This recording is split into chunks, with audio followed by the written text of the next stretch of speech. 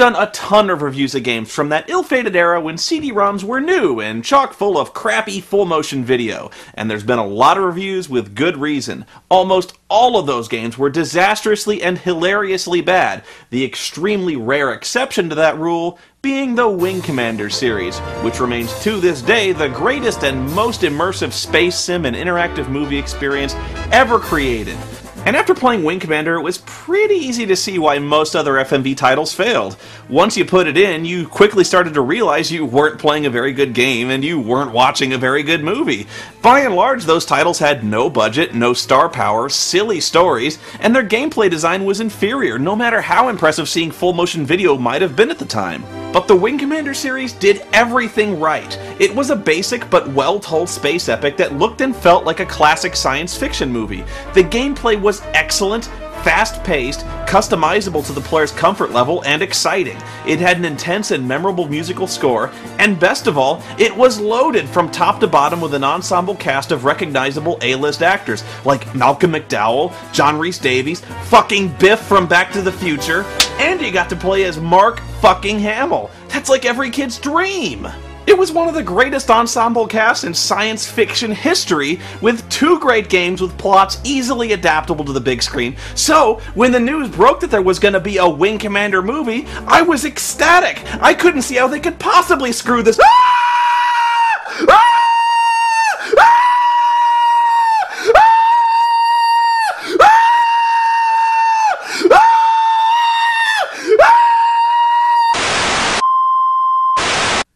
You know that old saying, never judge a book by its cover? Well, fuck you, because that's books, not movies, and I don't think you could have found a better poster to scare an audience away from a theater if you'd covered the entire building in a plastic sheet and set up a half mile military perimeter warning people of an anthrax attack. I don't think I've ever seen a poster inspire less confidence in a movie than the three-headed monster of Freddie Prinze Jr., Saffron Burrows, and the crown fucking jewel, Matthew Lillard, the skin-peelingly annoying jackhole from Hackers. What is wrong with you? You had a group of amazing actors, titans of science fiction, two excellent scripts used in the games that I could have easily adapted to the big screen in about 10 fucking minutes. Hell, you probably still had the costumes and sets from Wing Commanders 4 and 5 laying around somewhere. And instead of casting Mark Hamill, you replace everyone with the main actors from She's All That? How do you fuck that up? You replaced Luke Skywalker with fucking Fred from Scooby Doo? Oh shit, Matthew Lillard was in that too. It's like these two chuckleheads are joined at the hip. Wing commander. Fucking Freddie Prinze Jr. couldn't command fucking wings at a KFC. Nobody saw this piece of shit because it sucks. It sucks harder than a black hole made of sucky games. It's the singularity of suck. Do you have any idea how sad it is when the best part of this movie was the premiere trailer for Star Wars Episode 1? It's amazing how pissed off I get at the DVD packaging alone. The tagline on the cover says, An action packed thrill ride. This line is so generic it's almost invisible. It says nothing. I defy you to come up with a more forgettable box quote. For bonus points, use the words fast, furious, roller coaster, and tour de force. Oh, no holds barred, I forgot that one. The synopsis on the back has the balls to call this movie Starship Troopers meets Top Gun. Oh, come on now. Seriously? Shame on you. You could not have written that with a straight face. You wish you could make a movie half as awesome and gay as Top Gun. It cannot be done. And now you're making me picture a Paul Verhoeven movie with a Kenny Loggins soundtrack. Ugh. The cast bios and the liner notes are so depressing. The best actor listed here by far is Tchéky Karyo, buried way at the bottom, only with one small problem. That's not Tchéky Karyo! That's Jurgen Prochnow! The incompetence here is stunning. Well, let's get on with it. The movie that took my favorite video game series of all time out behind a woodshed and beat it to death with a shovel Wing Commander.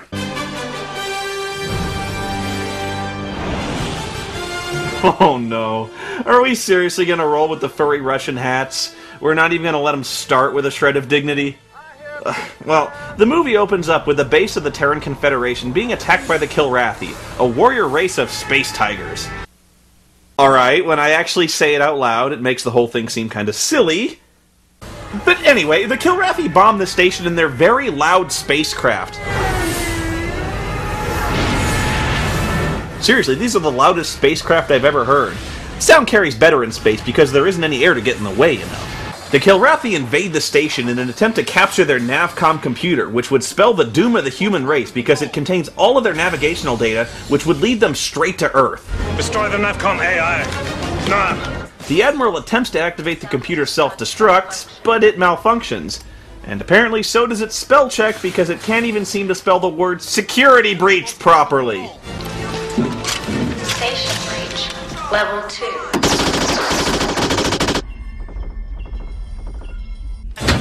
Yeah, stand back, everyone. Here comes Admiral Hercules.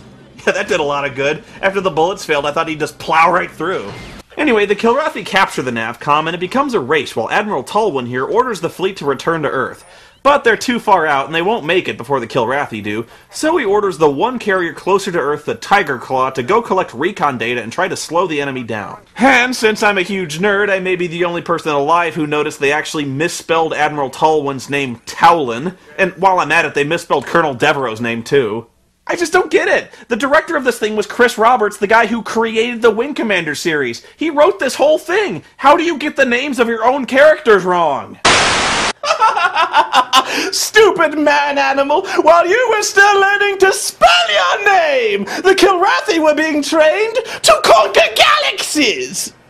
Oh god. Turl? I thought you were dead? Ha! I'd expect such ignorance from a stupid man animal, but no.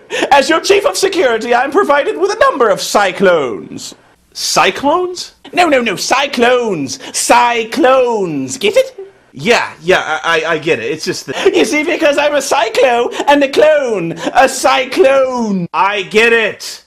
Oh, bite me. It's fun. Meanwhile, our heroes, Lieutenant Blair and Maniac, are headed to the Tiger Claw's replacement pilots on a supply ship. Blair's a nice white bread guy descended from a group of people known as pilgrims, and he faces endless prejudice from his peers because the pilgrims are feared and suspected as traitors and saboteurs. You have a problem I should be aware of. Yes, ma'am, I do. I don't fly with pilgrims. Maniac is an insufferable mugging jackass descended from a group of people known as fucking retards, and he faces endless prejudice from his peers because he's a sack-crushingly annoying shit stain on the underpants of humanity. You shut up! This is made obvious the moment we see him when the captain orders him to take an uncharted shortcut, and he immediately screws it up by going too fast. That beacon is marking a gravity well. One cubic inch of it exerts more gravitational force than the sun. Well, gee, that might have been something useful to mention to the stoner fuckhead named Maniac. But on the other hand, how the fuck did Maniac not see this? And he never thought to question the wisdom of flying directly into it at top speed? They need to activate the jump drive to escape, but conveniently their computer goes offline at a critical moment. Seriously, their navcoms crash so often it's like they're running Vista. But Blair saves the day when he enters a mystic trance and bashes out the mind-bogglingly complex calculations on the fly by typing them out by hand on the keypad. It's a pilgrim thing. Maniac spends most of the scene doing this. It's an imbecile thing. Yeah, and get used to the pilgrim shit because it's the one and only defining character trait Blair's given the entire movie. They embraced space, and for that, they were rewarded with the gift of a flawless sense of direction. They could feel magnetic fields created by quasars and black holes. The black hole. Like a Navcom AI? Is the NAVCOM recreation of the mind of a single pilgrim. And why did the war start? They saw themselves as superior to men. They chose to abandon all things human. Some say they believed they were gods. It's just completely distracting and out of place. It has nothing to do with the games, and it introduces a bizarre mystic power in a setting that until now has managed to avoid psychics, Jedi, and supernatural bullshit. So now we're expected to believe that the original human colonists spontaneously developed a supernatural gift for sensing warp paths through gravitational fields. I mean, as supernatural gifts go, it's really kind of amazingly lame.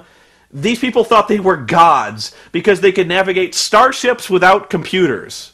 What does God need with a starship? I mean, yeah, it's impressive, I guess, being able to navigate a starship without a computer. Although I think most starships have computers, so godlike? Buy a fucking calculator. Worship me, rat brain, for I am a god! What? Oh, you are not. I am too, because you see, I have the innate ability to sense how high above sea level any place on the planet is. Well, couldn't you just check Wikipedia for that or something? Yes, but only a stupid man animal would need to. I can do it all in my head. Bullshit, you can. Quiz me. Okay. Well, how high is uh, Mexico City above sea level? Feet or meters? Feet. 7,349. No, meters. 2,240. Whoa. Disneyland. Oh, please. 157 feet. Truly, you are the King of Kings! Forgive me, Lord! I did not know! Blair and Maniac don't exactly find a warm welcome on the Tiger Claw because, well, Maniac. Blair immediately pisses everyone off by asking about a pilot named Bossman who died recently, not knowing that the pilots around here have a weird policy of claiming dead pilots never existed. He never existed. We're all going to die out here, but none of us need to be reminded of that fact. So you die, you never existed. Because that's a great way to honor the memories of your dead comrades. Bitterly deny their existence and start fights with anyone who says otherwise. You got a problem with my friend, Mr. Hunter? Yes, I do. Good, that means you got a problem with me. Is that so? Yeah. Oh, look out, guys. Matthew Lillard's got his back. I'm sure nobody wants a piece of that. You ladies don't stand down, you'll have a problem with me. All 70 pounds of me.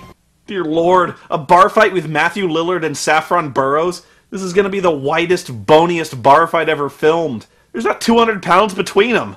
Actually, Maniac manages to make friends a little easier than Blair does. Not even Angel likes Blair, because the first thing he did when he got on board was piss her off by sitting in Bossman's old Starfighter, and Angel and Bossman were an item when he died. Although I'm not sure how he died, since his ship is still sitting fully intact on the flight deck, but whatever. The XO, played by Jurgen Prochnow, is the typical angry dude who blames everything that goes wrong on Blair. He's a broken record about the Pilgrims being traitors, pretty much every scene he's saying the same thing. Pilgrims don't think like us. It's well documented that Pilgrim saboteurs have been responsible for much of the Confed's problems in this war. Maybe he knew something we didn't. But I think he's just in a bad mood by being typecast in this Das Boot ripoff. But if you think I'm going to let my men be flown into combat by a rogue and a half-breed, Seems to me that Blair is not their biggest problem right now, since Maniac's one apparent mission in life is to be a danger to himself and others. He's like a four year old with ADD climbing on furniture while the ship is going to a dangerous warp through a fucking pulsar, Todd, Maniac Marshall.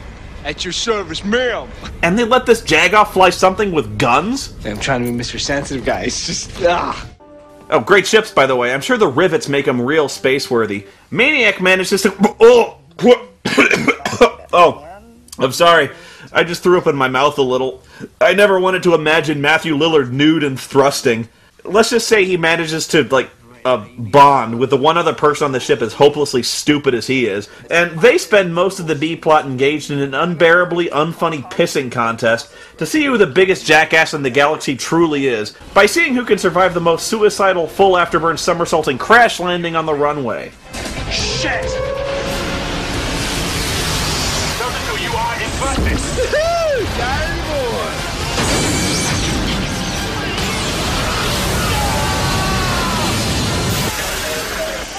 Oh, that maniac he is a card! Crashing expensive starships, indispensable to the war effort, destroying the flight deck and running over helpless technicians for fun! he cracks me up.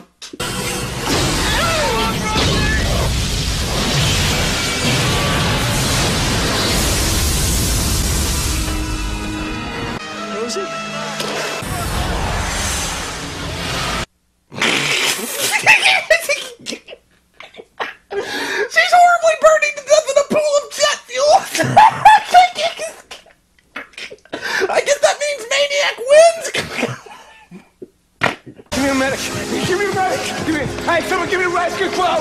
Give me a rescue quote. Man, watching Matthew Lillard try to act is like watching someone with no thumbs try to use chopsticks. Tom Wilson stole the show as Maniac in the video games, but even he couldn't have saved this movie. The script completely botches almost every character from the games. Angel's now English when in the game she's French, or actually Belgian, that's why her name is Devereaux. Paladin is now Turkish speaking French when in the games he's Scottish, and Maniac is supposed to be the best pilot alive. He's supposed to be a lot like Maverick from Top Gun brash, cocky, arrogant, and anxious to prove that he's the best. He's dangerous, aggressive, out for himself, yes, but there's a difference between a guy who buzzes the tower for kicks and a guy who crashes into it. Well, it sounds like you memorized that speech. Good for you. Anyway, the Tiger Claw hides in a moon crater to escape detection by the enemy fleet, launching a decoy to draw their attention. They're following the decoy. They've missed us. Yeah. Come on. Quiet. There's a destroyer hunting us. Oh, sorry. They all have to stay very quiet or the destroyer will hear them. This is straight out of a submarine movie. You can tell Jurgen here is having serious U boat flashbacks. You know, there's suspension of disbelief, and then there's insulting my fucking intelligence. You don't need to be a scientist to figure out that ships wouldn't drop off the runway in outer space! Why should they be afraid that people outside the ship are going to hear them? Sound doesn't carry in a vacuum! They could have Slayer performing in the galley while shoving a cat in a garbage disposal, and nobody outside the ship would hear anything! Naturally, at this point in Das Boot, the destroyer above them starts dropping depth charges, so the jig is up. They're nuking every crater. Methodical bastards. The Tiger Claw launches fighters and attacks. Blair, despite being a fighter pilot, is sent along with a squad of Marines to board the enemy destroyer.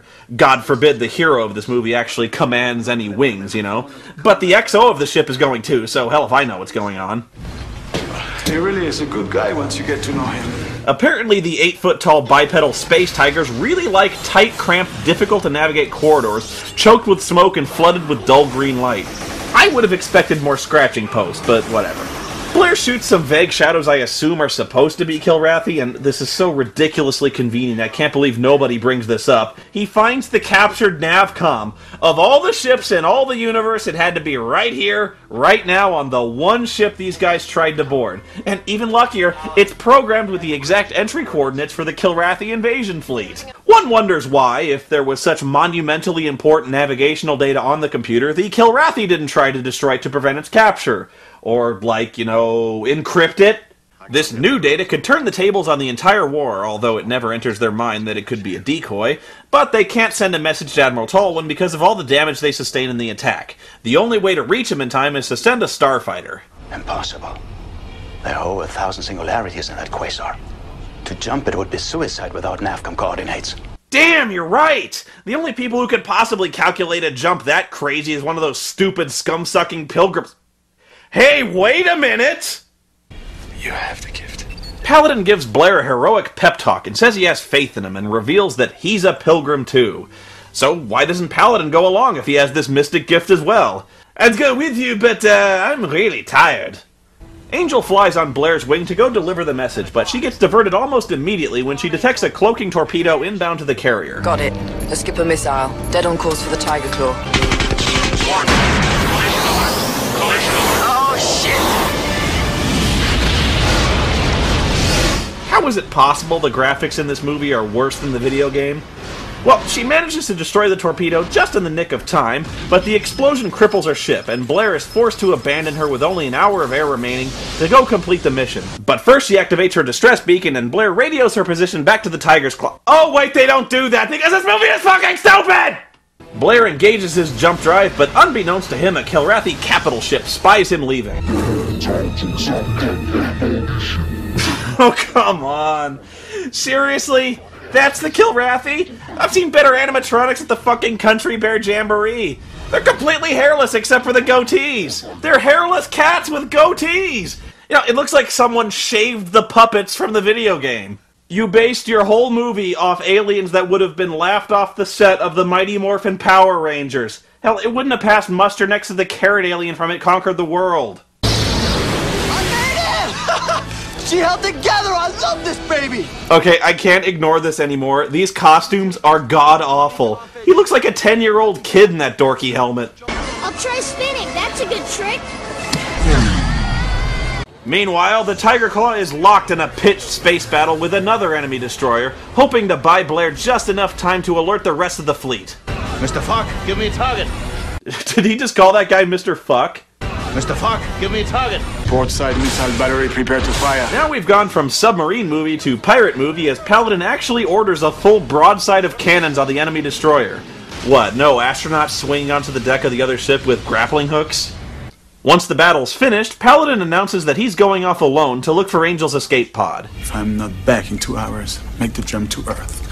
Blair makes it back to Earth and transmits his message, but has an entire battleship hot in his heels. But luckily, again, he manages to be within spitting distance of the enormous ship devouring gravity well that almost killed him at the beginning of the movie.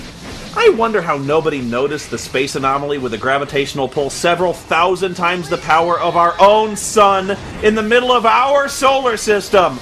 That is not possible! No, really? This isn't the fleet?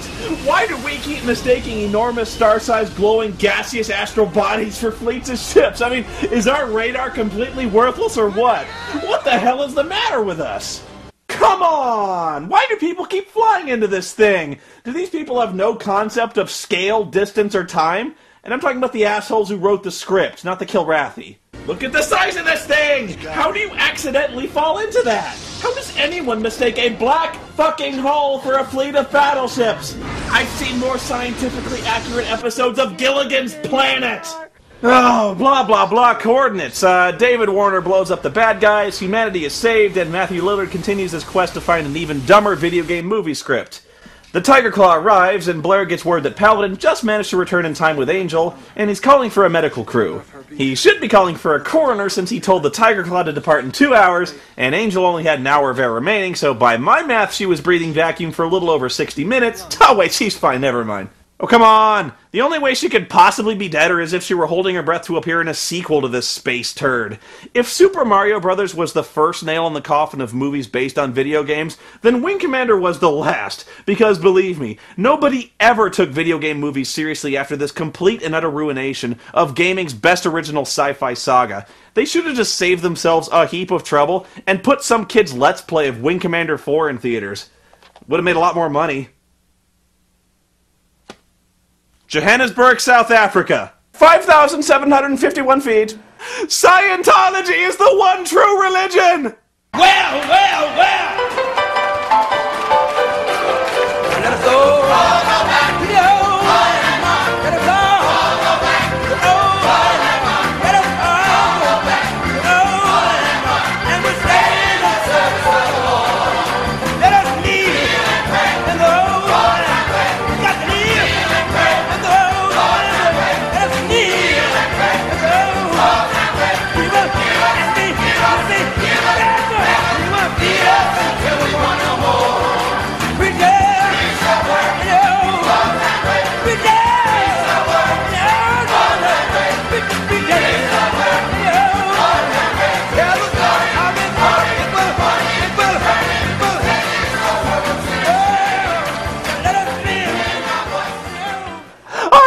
Than Jesus.